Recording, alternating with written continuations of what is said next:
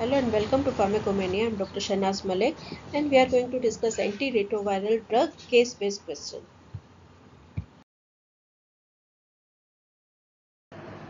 Today's question is a patient with AIDS has a CD4 count is 45 microliter. He is being maintained on three drug regimen indinavir, didanosine, and zidovudine for prophylaxis against opportunistic infection.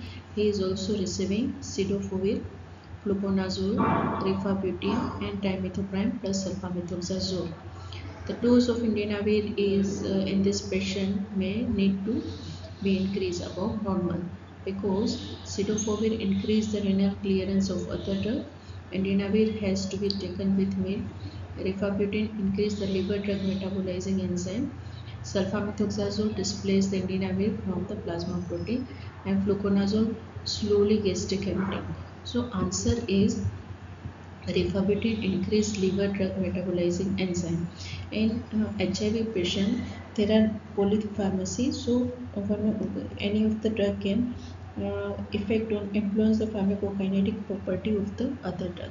So here rifabutin is the drug which inducer of the hepatic cytochrome P450 enzyme and increase the absorption metabolism of the other drugs so indinavir is one of them so uh, we should increase the dose of indinavir for to treat the patient because uh, it, uh, its metabolism is increased by rifabutin but lesser than rifampicin. So um, should increase in dose